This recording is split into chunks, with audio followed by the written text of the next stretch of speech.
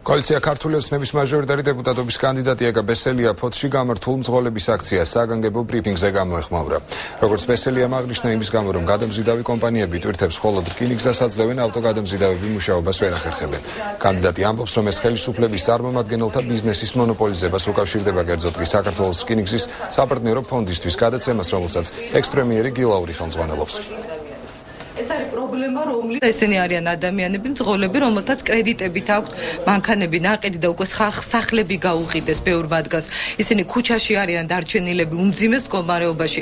ოჯახებია მათ უკან ბავშვები, რომლებიც შიმშილობენ. მიაქციოს ხელისუფლებამ ამას ყურადღება, როგორც ჩვენ საქმე გვაქვს მონოპოლიურ ბიზნესთან. იმისთვის რომ ეს პრობლემა გადაიჭრას, ჩვენ მხარდაჭერასაც უცხადებთ და მზადვართ მათთან ერთად დავგეგმოთ კონკრეტული ღონისძიებები იმისთვის, რომ მათი პრობლემა სწრაფად მოგვარდეს. ყადაღად ამის მივხვდები ყველაფერზე, იმიტომ რომ გადაიხადე ვერ ვიხდი. მეუბნები ნელ-ნელა გადამახტევინეთ რაღაცა არა. ბანკის მართლთან რომ მოვინდომე შეხვედრა, მითხრა რომ არაო მართველი არ ღებულობსო იურისტი მეუბნება.